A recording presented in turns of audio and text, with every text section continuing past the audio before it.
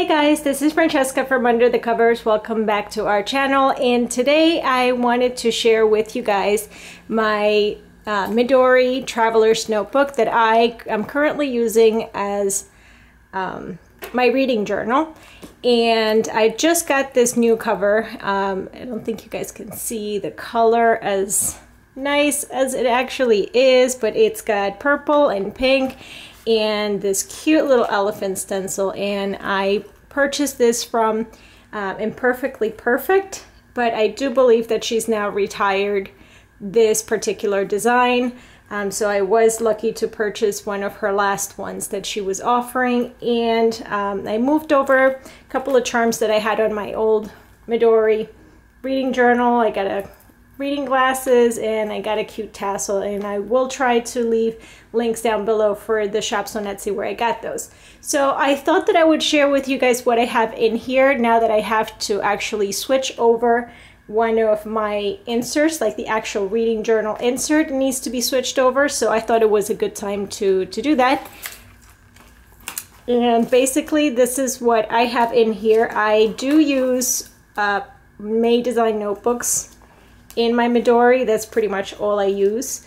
And um, I will try to leave links for the shops where I got the paper clips from as well. So basically the first notebook I have in here is the actual reading journal. And what I've been doing with this is um, I am printing the covers of the books that I am planning on reading for the month. For the most part, I do have a list of what I'm going to read that month. So I do print the covers ahead of time and I've printed a bunch of these book rating stickers that I made myself um, that I also have on my Etsy shop. And so I have those in here as well. And I do keep some washi tape. So pretty much as far as decorating, that's all I use. So I'm just gonna give you like a quick flip through. This is pretty much all I've been doing is I stick on the cover. Um, I do have some Planner Kate stickers for recommended read and I just put the word recommended with the label maker on the Planner Kate stickers. I just like that they're repositionable. And so that's basically what I've been doing. I have in this notebook uh, my books for March, April, and May. And as you can see, I'm pretty much finishing up the notebook now. So I'm going to switch this out and put a new one in. Um, the next thing I have on here is a dashboard I made myself, scrapbook paper, and a couple other things, and I laminated it.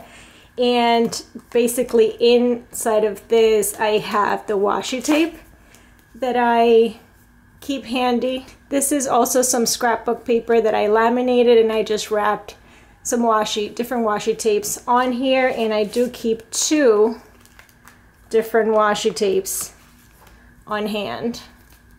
I also use this laminated piece of scrapbook paper. The edge of it is what I use to cut the washi. So I'll just lay out the washi right on the notebook and I'll use the other one to cut it.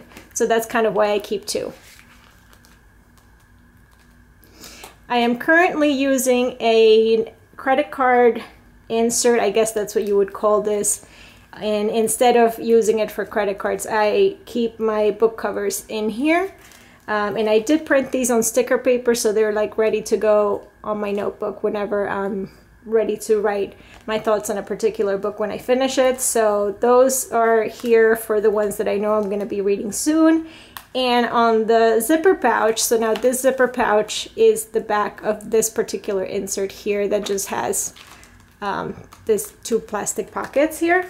Uh, I keep in here the book rating stickers. Because I printed these myself um, I had to cut them all ahead of time. So they're all in here loose. And I do have some of the recommended um, Planner Kate stickers. And like I said I just used my label label maker for these And a couple other things that I keep on here are a little bit more blog related. I do have a book for lists and recommendation. I created um, a quick index for different lists of books, like for example, Friends to Lovers, Second Chances, that kind of stuff. So what I like to do when I'm reading a book that qualifies into one of my lists is I find the page number because I actually did number the pages at the bottom and I'll go and write that in right away. I also did a couple of pages on here for my monthly recommendations and for my yearly recommendations. So that makes it very easy as I'm reading something throughout the month, I can already jot it down that it's something that I would recommend at the end of the month or that would go on my best of the year list. Now on those lists, it's really nothing fancy or anything like that. It's just a place where I can write down the lists and I already have the information um, handy at the end of the month or whenever I need it. Or the same goes with like different categories of lists. On the back of this uh, scrapbook paper that I also laminated myself, I attached a couple of sticky notes that I use for when I'm reading an actual print book to mark quotes or and I like these particular ones. I picked up a set of these from IKEA and I kind of like that they're they reflect a little bit of what you would highlight a quote for. So I like to use those when I'm reading a paperback, so I like to keep those handy. And the last thing I have in here is a notebook for all the blog brain dump basically and I'm not going to go into too much detail on here but basically I like to keep things like blog stats that I like to keep track of. I also keep track of the books that I need to review for a particular month. I keep track of whether I've read the book, I've drafted the review, whether I've written the review and whether it's posted or sent back to the publisher. For example, to look at a clear page of what that looks like, these are my list to track the reviews that I need to uh, do. So this is a couple of blank pages that I have. So basically I'll write in the date that it's due and I'll write in the month on top. I'll write the book and author and then I have little check boxes if you if you will for read, drafted, reviewed, posted and submitted to the publisher. The rest of things that are in here are pretty much just lists that I need for blog work, randomly thrown in here and for reference. Um, throughout this, I've used a couple of magnetic paper clips and mostly those are from Target. These are scented ones and I have a cute little elephant one as well.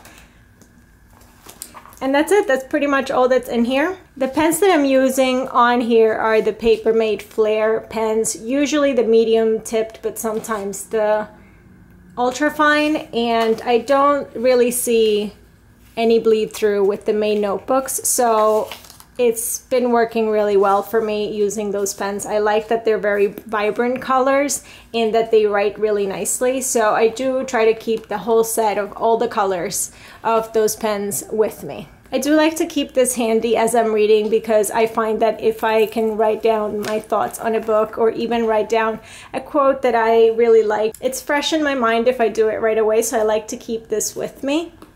Overall, I've been really happy with the system. As you can see, I'm pretty much done with my first insert in this particular style of reading journal. So I think I will continue doing this and hopefully that gave you uh, a little bit of an idea. And uh, if you have any questions, just let me know. I'll try to leave links to all the supplies that I use to put this together in the information box below.